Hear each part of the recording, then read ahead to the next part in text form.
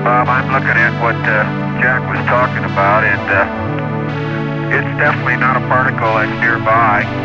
It is a uh, bright object, and it's uh, obviously rotating because it's flashing. It's uh, way out in the distance, apparently rotating in a very rhythmic fashion because the uh, flashes come around almost on time. As we look back at the Earth, it's up at about 11 o'clock, about, maybe 10 or 12 dia Earth diameters. Uh, I don't know whether that does you any good, but there's something out there.